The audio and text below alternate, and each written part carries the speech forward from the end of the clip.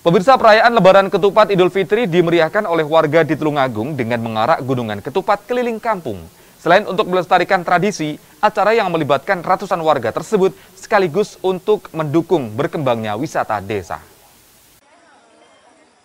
Merayakan Lebaran Ketupat yang menjadi puncak perayaan Idul Fitri, ratusan warga Desa Winong, Kecamatan Kalidawir, Tulungagung menggelar acara murak kupat atau makan ketupat beramai-ramai.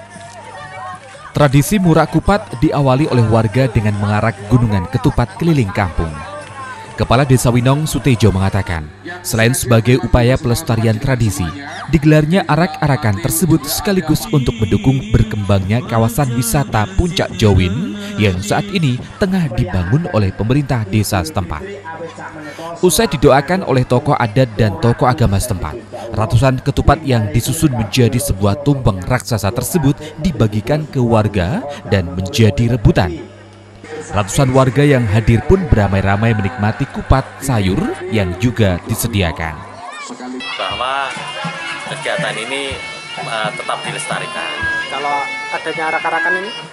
Arak-arakan ini untuk memberikan uh, semangat dari anak-anak hmm. biar mempunyai kegembiraan dan uh, mempunyai tradisi ini harus estafet lah dari anak-anak nanti biar dilanjutkan ke depannya.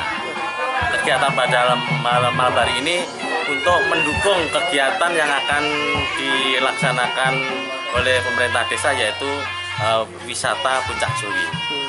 Harapannya? Harapan ke depan dengan uh, dibukanya wisata dan kegiatan tersebut itu nanti bisa menumbuhkan uh, ekonomi dampak ekonomi kepada masyarakat khususnya UMKM. Sutejo menambahkan, saat ini pihaknya tengah mengembangkan tempat wisata keluarga dan bumi perkemahan di perbukitan Desa Winong. Pembangunan wisata Desa Puncak Jowin yang menyajikan keindahan panorama saat siang maupun malam tersebut ditargetkan segera selesai. Agus Bondan, JTV, Tulung Agung.